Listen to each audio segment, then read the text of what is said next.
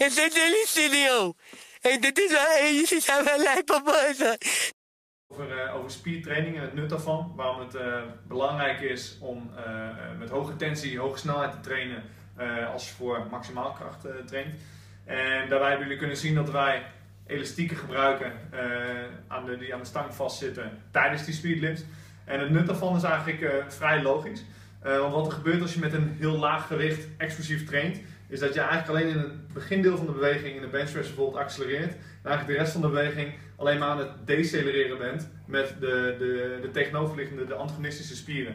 Um, dus het nut van die elastieken is eigenlijk dat natuurlijk hoe verder je in de beweging komt, hoe meer rector op, die, uh, op het elastiek komt. Dus hoe groter de weerstand eigenlijk wordt. Dus waar de elastieken voor zorgen in dus een bench press of een, of een deadlift of een squat, is dat je eigenlijk de, de weerstand, van de weerstand uh, op de spieren een beetje matcht aan de krachtcurve, waardoor je dus eigenlijk tot het uiterste deel van de beweging moet dooraccelereren. Waardoor je dus de hele bewegingsbaan maximale activatie hebt. En ja, dat is eigenlijk de, de belangrijkste toevoeging en, en trainingseffect wat je dus haalt uit, uit de speed day.